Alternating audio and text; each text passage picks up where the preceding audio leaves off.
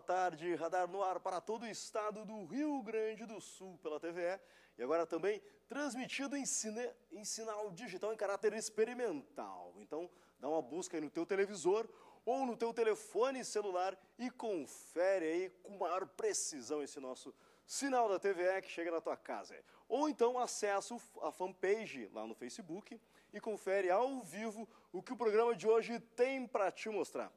E como sempre, tem música, arte e muita informação. Tem matérias para o pessoal que está trabalhando na nona edição da Bienal do Mercosul, intermediando o contato do público com as obras e dos artistas com os espaços da cidade. São os mediadores. Também tem clipe pintando pela primeira vez no programa. Tu confere o som da banda Isidoro Pilsen e mais dicas do que anda acontecendo por aí pela cidade, pelo interior, coisa e tal. E começamos com um som ao vivo da Take a Number, banda de Sapiranga, cidade que a partir de sexta-feira recebe mais uma edição do Morro Estoque. Bora de som então, vamos lá. Boa tarde, nós somos a banda Take a Number de Sapiranga.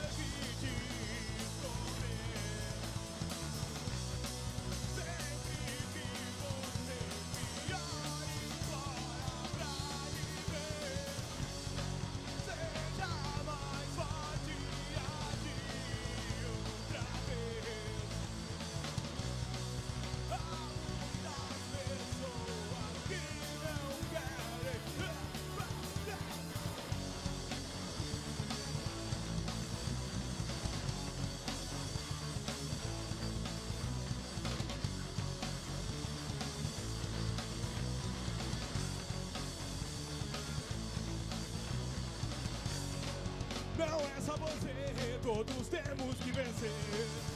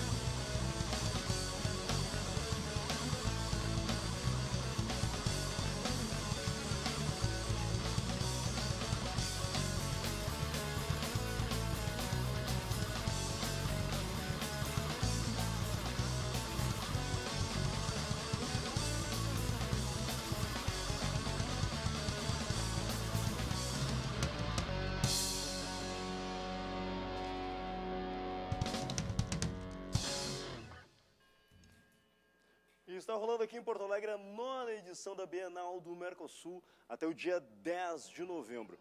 O tema dessa edição é Se o clima for favorável.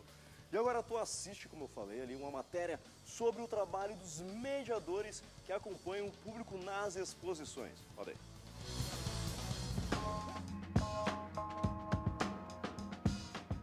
A gente veio até a Bienal do Mercosul para saber um pouco mais sobre o papel de uma galera que está sempre à disposição dos visitantes, os mediadores. Se liga aí em como funciona e qual a função de um mediador. É também facilitar essa conexão do público com a obra, uh, de diferentes maneiras, né?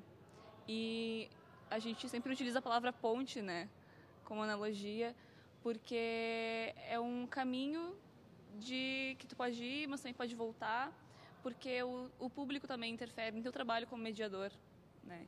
Então, assim, é uma, um trabalho conjunto.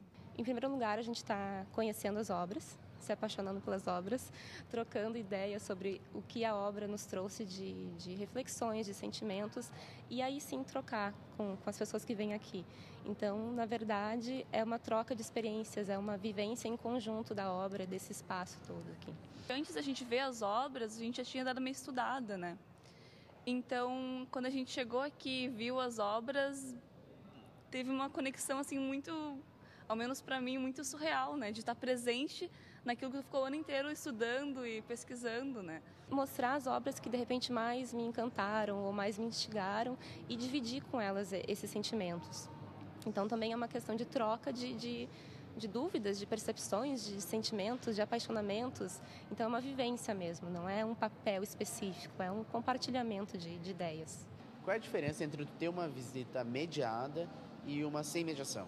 A diferença é que basicamente assim, o, a arte contemporânea não é algo assim, uh, às vezes tão direto que o público consegue acessar tão diretamente assim o que o artista quis dizer.